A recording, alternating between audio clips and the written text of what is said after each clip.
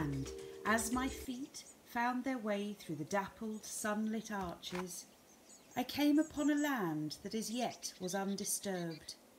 White flashes and bobtails scurried home to warm embraces, and I found my refuge by the bark of a tall oak.